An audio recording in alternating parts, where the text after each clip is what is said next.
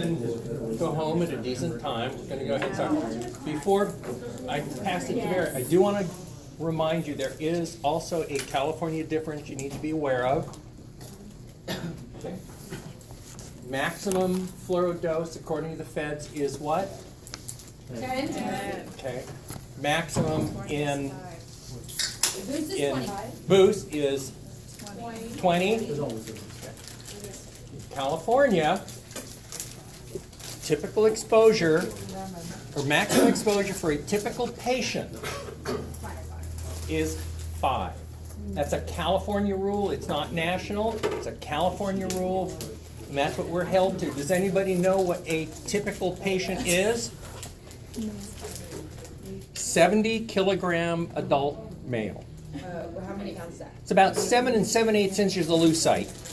What? What?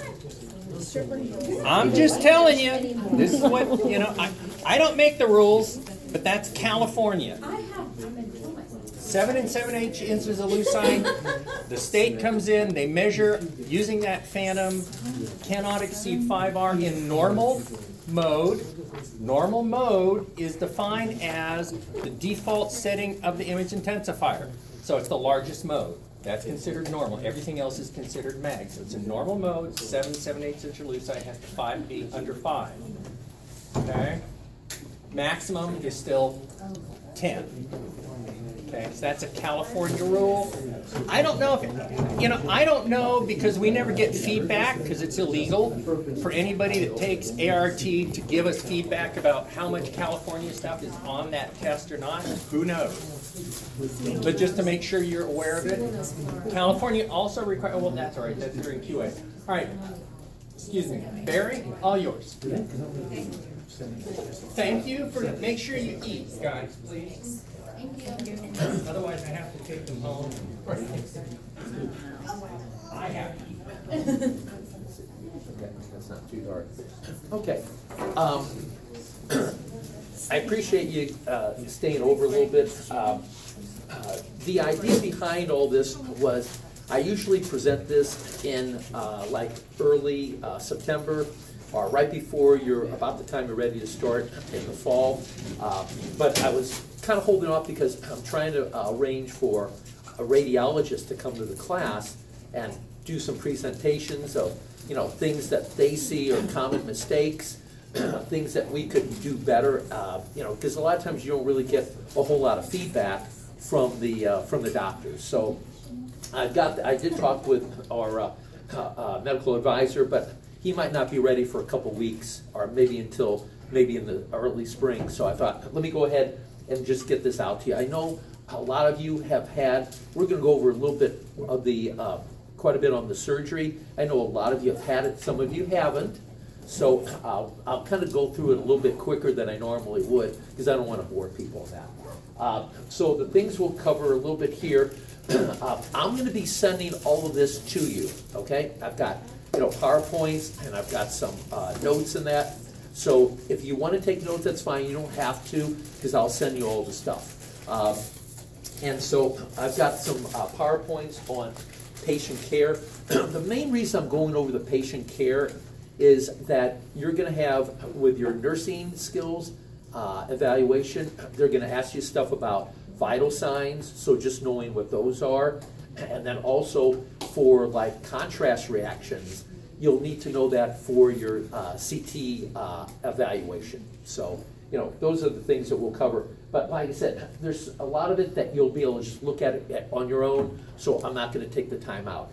But the other thing I'm gonna do is I've got all kinds of stuff on the techniques.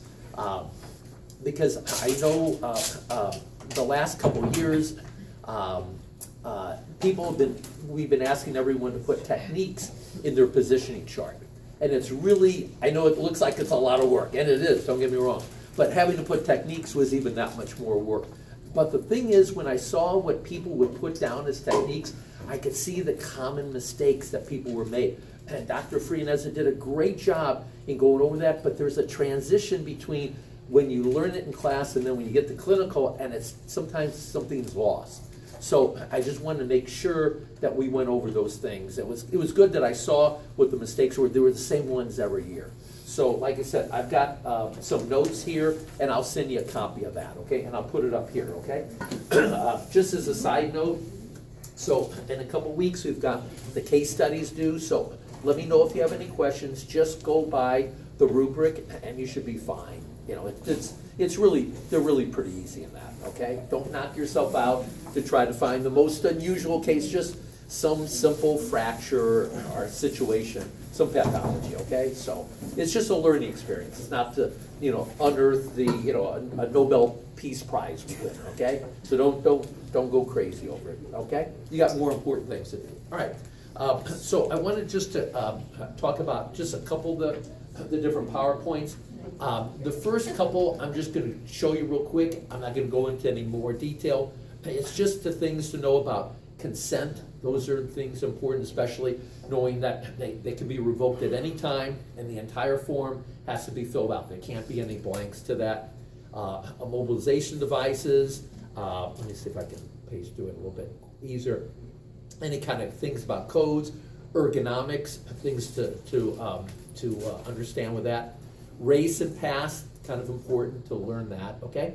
So that pretty much covers uh, the first unit here. Let me go over and pull out uh, unit two here. And again, we're not gonna really, just know about the cycle of infection and being familiar with, you know, you know, direct contact and indirect contact and what's a fomite, what's a vector, droplet, airborne, the difference between those.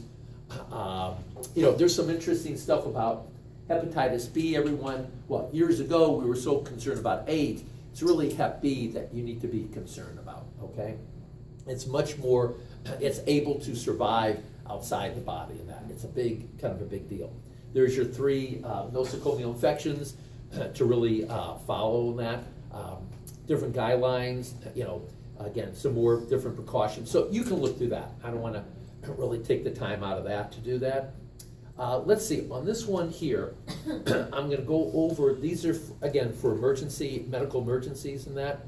Um, certainly being familiar with uh, a number of the shocks, but the main one, of course, is your anaphylactic. And this is where you'll be quizzed uh, for your uh, CT uh, um, evaluation. So you do want to know this. The whole, the key of all the vital signs is really the blood pressure. And in every vital sign of every uh, type of uh, shock, it's always the blood pressure that drops. So that's the one that you really need to, to be aware of. Um, you always want to consider all these different, you know, uh, considerations and contraindications, you know, whether they're, you know, uh, they're diabetic or they have any kind of liver function uh, uh, issue or renal, especially if the patient's on dialysis, knowing how to sequence it. You always want to give the dialysis, you always want to give the contrast before they get dialyzed, before that. Otherwise, it sits in their system for maybe a couple of days. That doesn't do any good, okay? So if you need to bring someone down, see if you can do it before they get their dialysis treatment. That's kind of a key thing with that. Um, just some general information about iodine and contrast reactions. You know, it's just some good information to know. Keep in mind that, you know, when you do some kind of contrast study, that there's expected side effects and then there's adverse side effects. So the expected side effects, warm flush feeling, funny metallic taste, it's good to communicate that with the patient. Other than that, you don't have to note anything. You know, they'll be like, it'll be just kind of interesting, okay? And it usually passes real quickly. Of course, the ones we have to be more concerned with are the mild, moderate, and severe reactions. So uh, just understand some of those. Has anyone ever seen anyone that had a vasovagal reaction? So again, that's not a reaction from the contrast. It's a reaction to the anxiety of the procedure. They could be injecting saline and they would still have the same reaction as they might even with you know some of the contrast and that. So just kind of understanding a little bit what uh, happens with that. And again, with the different reactions, so do you know be a little bit familiar with some of these. I've got small hives here and you know giant hives. So there's a difference. You know when it talks about uh, difficulty breathing or patient complains of throat closing, they think that might what might be happening is there's hives actually in the trachea that's closing off the lumen and it's making it difficult for the patient to breathe. So uh, they don't know why it causes these reactions, but just understand that. In terms of emergency treatment, you know, they may need to get an airway going, or putting in a, a trach, epinephrine or adrenaline, again, it's a vasoconstrictor, because guess what, which is the vital sign, remember? It's, it's blood pressure, and they gotta raise that, so they'll use, use that to raise the blood pressure. Also, what this does, what helps out sometimes, along with albuterol, is you get bronchospasms, so the bronchial tree starts closing up, they can't breathe, so it dilates those bronchial uh, openings that, so a patient can breathe a little better. So those are some of the main ones uh, to learn. Uh, That's just some information about diabetes and that, you can look at that. Um, You know, what's interesting, I, I've got a couple little uh, things on this here. Um, If they're cold and clammy, give them candy. Okay, so that's kind of a, a cute little way of remembering, you know, so that way we give them candy or fruit juice if their, if their uh, blood sugar is low in that, okay? All right, um, there's some information on seizures and syncope. So here's, you know, again, just the, you know, the normal ranges for temperature, the normal pulse for adults. Again, that's normal for society, not for each of us, okay? And so that's what that range is there. If it's high or low, it's tachycardia and bradycardia. Um, there's sites for, uh, detect, uh, you know, for pulse. And then respiration is just fifteen to twenty here. So the blood pressure is, again, the key one. So this is gonna be your normal range. Your systolic is gonna be ninety to one twenty, your diastolic is gonna be fifty to seventy. So if you have high blood pressure, everything rises as a unit. Both of these numbers will rise here. If you have low blood pressure, everything lowers as a unit. It doesn't mean that the, the range expands, everything as a unit goes down. Does that make sense?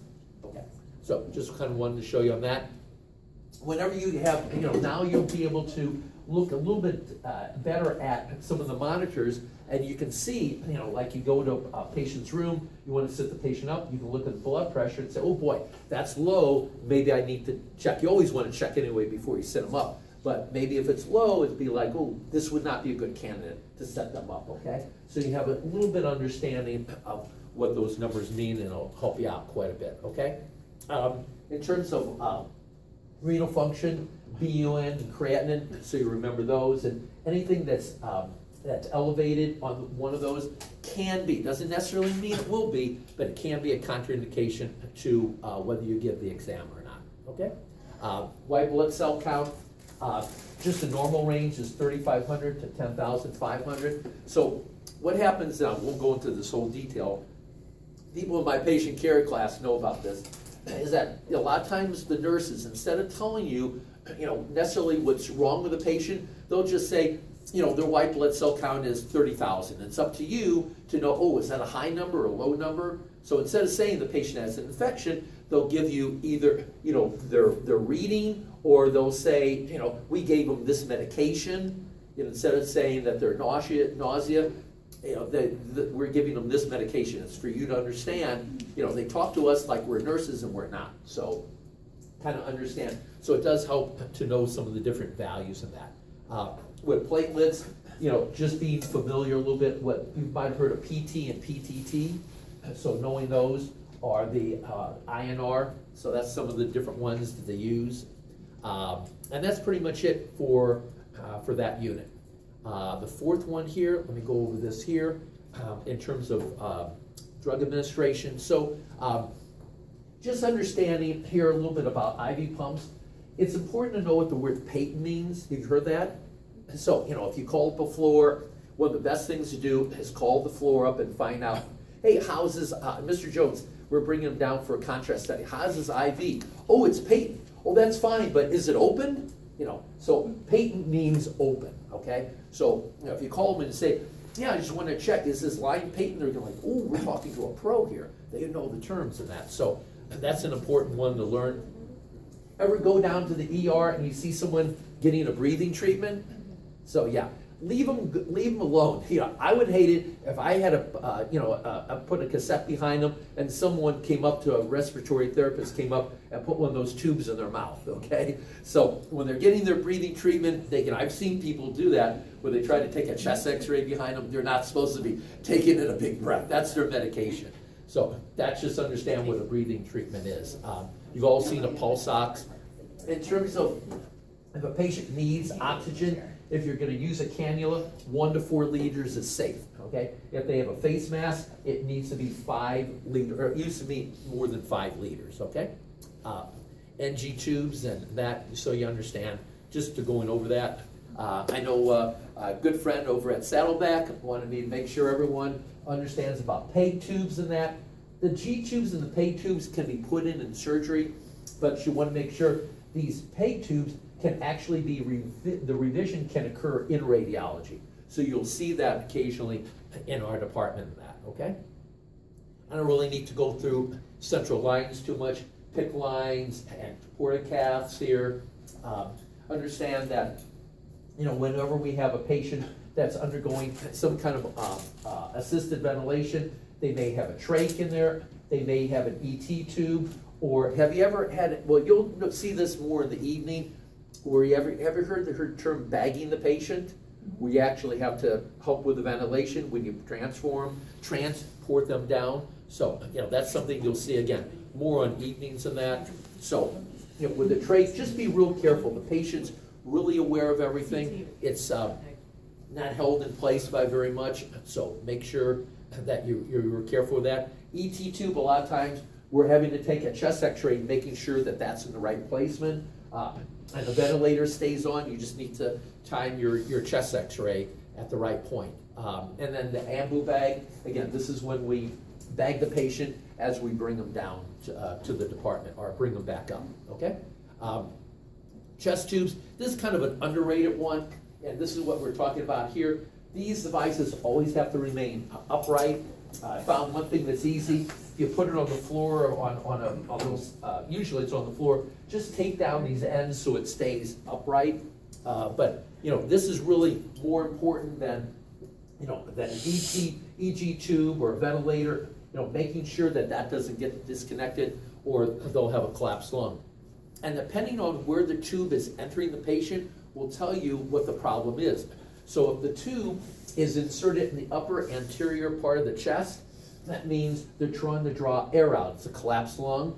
If it's in the lower back part, it means there's fluid and they're trying to draw the fluid out, okay? So you can always see where it's located as to what to do. And then for suctioning, just making sure that your room always has a suction canister. And remember this from the, the dentist, the Yankauer devices, you have to have those in place, okay? Or they have to be uh, ready to go, okay?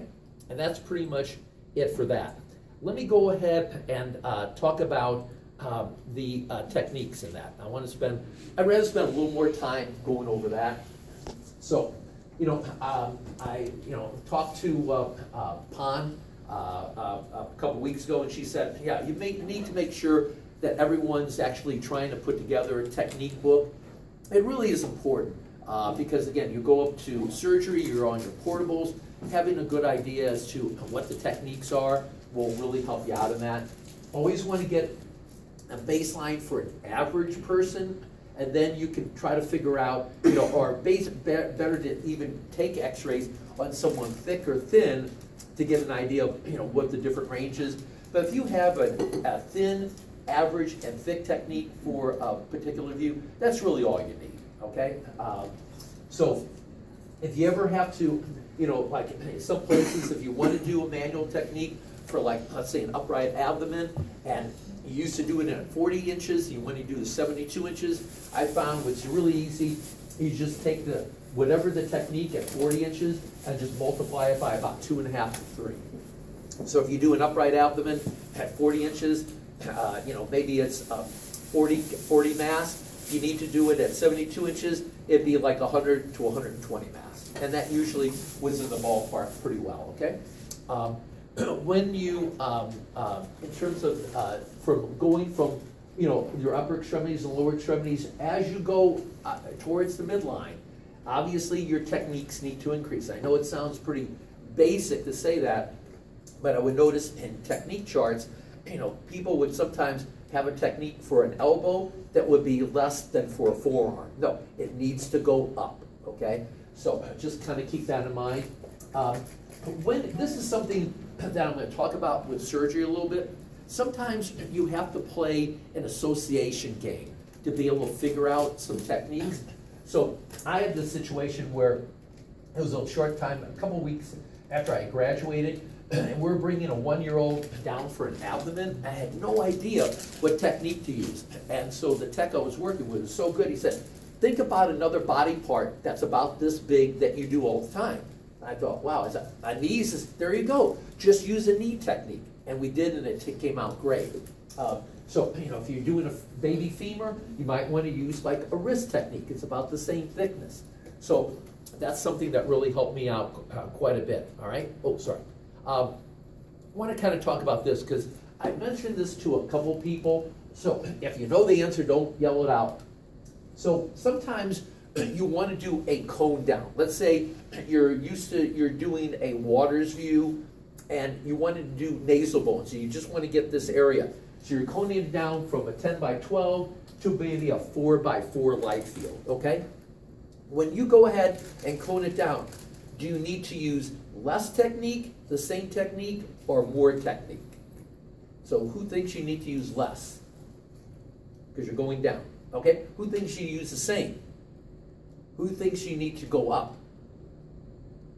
You need to go up, okay? And the reason is because when you're using a smaller light field like this, you're basically eliminating all of the scatter that would have attributed to the density. It's like using a it's like using a grid. When you go to a, from a non-grid to a grid, you've got to go up in your technique, right? So you know, like go up four times in your mass. It's the same idea. So you go from a 10 by 12 light field to a small light field like that, like where you're going from a regular waters to a cone down for the nasal bones, you need to go up in your technique. Does that make sense? A lot of people think you go down because you're using a smaller field. Actually, you need to go up quite a bit more. That happened to me. I used the same technique. It was like, why is this so light? And I realized, oh boy, I'm going to have to double it. And then it came out fine. I was like, yeah, because you've eliminated all of the scatter that would have contributed to the density. Make sense? Okay. Uh, there's a number of different groups of things that will utilize the same techniques. And this is the same things that I saw on the charts. You know, I see someone have a lateral C-spine technique, and the cross-table lateral was very different. It's like, it's the same part. It's not going to change whether they're upright or lateral. When you're doing a spot or a lateral sacrum coccyx, it's about the same technique. You know, of course, a knee and a patella would be the same. But This is an interesting one. A lot of people say, so what do I use for swimmer's? What do I use for a cross-table lateral hip? That crazy old technique that you hear about, the 80 at 80, it's not that crazy. It actually works a lot of times. It's a little bit of a variation, but you know, something like, you know, like, you know, maybe a swimmer's, and I've got some techniques I'll show you, you know, just so maybe a little bit less KV and a little less mass, but it'll work. But the swimmers, the cross table lateral hip, and you rarely ever do a transthoracic lateral, but that's about the same technique, okay? And so just kind of keep those in mind. Whenever you're doing like a calcaneus, we'll go over it. Uh, when people would put down the techniques for the calcaneus, for the plantar dorsal or the lateral, they use the same technique. Uh-uh, it's not the same. If you're going to do a lateral calcaneus or a lateral foot or a lateral ankle, they're going to be in the same neighborhood. It's about the same thickness, okay? When you do your plantar dorsal, I'll talk about that in a little bit. It's quite a bit different technique. AP shoulder, AP clavicle, AP scapula, it's about the same, okay? Um, a, uh, um, AP pelvis, sacrum, AP coccyx, the oblique, uh, SI joints is the same. So a lot of times, if I did an AP sacrum and it came out good, whenever I would go to the AP coccyx, I would take it off of the AEC because I know I can pretty much use the same technique. It's going to come out to be about the same, all right? In general, shoulder and knee techniques are pretty similar, okay? Uh, I found that the AP C-spine and even the DENS, it's not going to vary that much, okay? Uh, even when you go from an AP hip to a frog hip, it's about really, it's kind of about the same, all right? So um, when, people have asked like for a wide view, what, and again, these are just suggestions. You know, your place may shoot a little bit hotter or lighter. Again, it's just a rough idea.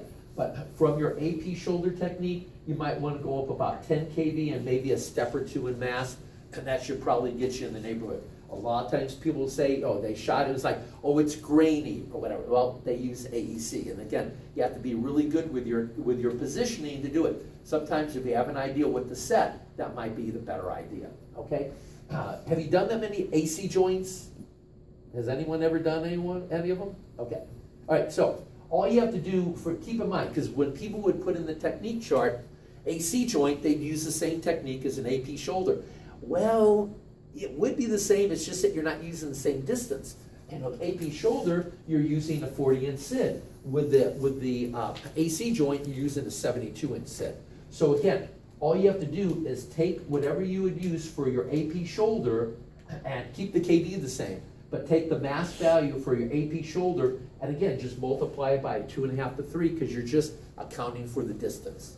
Make sense? And then you'll be fine with that, okay? It's just using the inverse square law.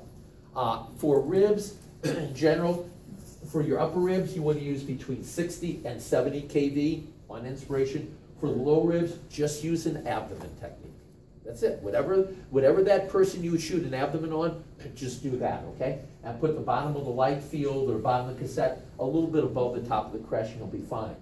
For that calcaneus, we're talking about that plantar dorsal, because you're using a 40 degree tube angle towards the heel, you need to use a lot more KV than that, than you normally for a lateral. Like a lateral, calcaneus might be what, 60 at 2, 60 at 3, something like that. You're gonna have to use a lot more KV because it's going through a, a greater part because it's at an angle. It's not going through, you know, the heel, it's going through almost the entire foot, okay? So keep that in mind. Um, for your, again, spine work, a lot of my C-spines, I, I generally just use manual technique. It's not like a lumbar where you get a great variation between people. People's necks, it's not that many settings that you need. So if you feel a little more comfortable using a manual setting, then I think you'll have more consistent results. Um, and again, here's the swimmers. Again, it's not that different than that 80 at 80. It's somewhere in that neighborhood. But again, your place may shoot just a little bit different than that. For a Fuchs, this is what I used to use. Uh, so you'll get an idea here. Uh, this was interesting. When I looked at people's uh, fluoro numbers, what they would set as the KV, sometimes for different studies, they put like 75 KV they were using for fluoro. It's like, no, it's 105, okay? So just keep that in mind. For barium, it's for that. If you're using Hypaque, it might be about 90 kV. And here's just some overhead values if you were going to take some overheads for an esophagram or an upper GI in that. Um, the only other notes here, I said for like when you're doing the cube abdomen, you're looking for free air, so it'd probably be a good idea to go down a step or two from your setting for your KUB because you don't want to burn out the air. That's the key thing on that one. Uh, if you ever do sternum, here's some sternum techniques. You probably never need it. And we'll go over cast techniques. We went over that today a little bit, so I adjusted the techniques a little bit. So, you know, again, these are what work for me, but again, it's more for film, so it may be needing to be tweaked a little bit, but of course, as you go up, you know, the fiberglass cast isn't as thick as that dry plaster, and the warm plaster has water retention. It's like they have edema, so you have to go up even more in that, okay?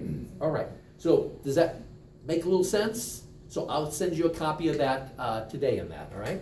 So uh, let me go ahead and close out of this here, and let me go over some of this here, and like I said, I'll try to be uh, pretty quick with it. Um, so, um, uh, um, let's see, one of the things that you certainly want to understand is have you ever heard of something, they need to flash something? So if something drops on the floor, they're gonna need to get it sterilized, so that's the steam under pressure, but better known as autoclaving or just flash. Hey, someone needs to flash it. That's what they're talking about with that, okay? um, here's all the stuff about the different protocols. With the surgery team, this is kind of interesting. So, you know, here's all the uh, people, there's another slide on this, uh, but there are two people that you really want to become their new, your new best friends in that. One of them would be either the anesthesiologist or the nurse anesthetist. Again, that's the one that's registering, making sure the ventilation is working properly. They can help you out so much with things. Helping you out when you come in the room, you know, the patient's draped, you're shooting across table lateral lumbar, you have no idea what technique to use. They can say, oh yeah, oh yeah, he's 6'2", 180. That gives you an idea of how big they are. Don't just go by weight, you gotta go by height too. Because if they weigh 180 and they're five feet versus 6'3", it's going to be a different body habitus, okay? Uh, and also they can help you even positioning the C-arm when you're coming in, they're at the head end of the table, and we're at the worst position at the side, which is really hard sometimes to see how far in or out you need to go, and sometimes it can say, yeah, move in a little bit, that sounds great. So, just as a side note, has, you know, the people that have been up in surgery, has there been music in the room? Yes. Okay, all right. Some doctors like music, some doctors don't like music, okay? So when you get to know the doctors that like music and that, you can tell how the case is going before you go in the room. If you go in the room, I mean, if, if- when you're gonna go in the room and they like music and it's really loud, things are going well, okay? If you're about to enter the room and things are silent, things have gone south. Just keep in mind, that's not the time you come in and say, hey, I got a good joke. You know, it's like, you know, there's something that's wrong. When there's, when anything goes wrong, they shut the music off. And one of the disc jockeys in the room could be that anesthesiologist or the nurse anesthetist, okay? The other one to keep that you want to be good friends with is that circulating nurse because again, they can help you out with a lot of things, uh, whatever you need, and don't be hesitant to help them. A lot of times, have you ever seen these big microscopes they use for like laminectomies? They're a couple hundred pounds. Help them. Get on your knees and help them push that. You will get paid back tenfold from that because people, huh? What's this? All right. So uh, help them out, and they will help you out in return. Okay. All right. Uh, obviously, you can see we don't get near this area unless it's the end of the case. Okay. They're watching you like a hawk. So there's kind of a line here. You don't see it. They can come over on our side, but we cannot go over anything close to their side. Okay. Uh, let's talk about this here. Uh, so uh, talks about you know confidence. You know, just know when you go up to surgery, it's kind of like an initiation. They kind of want you to fail a little bit, so you let so they let you know who's boss. Okay, and you never fight them. And so you know I've made plenty of little mistakes, and they kind of like that. And if you just you know learn from it, you'll be fine. But just know that you're going to make mistakes. Okay, and not you know just make small ones. Okay. Um, so mastery, it talks about here, mastery of all aspects. So, um, you know, uh, again, trying to get as much information as you can. Like, you know, you're, you got a patient, they're all draped, you need a technique. Ask the nurse anesthetist, you know, can you give me a height and weight on them? So at least you get an idea of what technique to use. Problem solving. This is probably the most important one because OR is trauma, all right? And we need to really kind of think on our feet as to what kind of angle to use, you know, where everything goes. Sometimes the doctors, the surgeons may not help out as much, okay? And one of the things, again, you want to play that game of association when you can't figure something out. So let me give you a for instance. um, had a, a, a worked on in the evening when I first started, and one of the guys came down from surgery. Said, "Yeah, I had to shoot. A, they wanted a cross. They wanted a man, a lateral mandible." I said, "God, what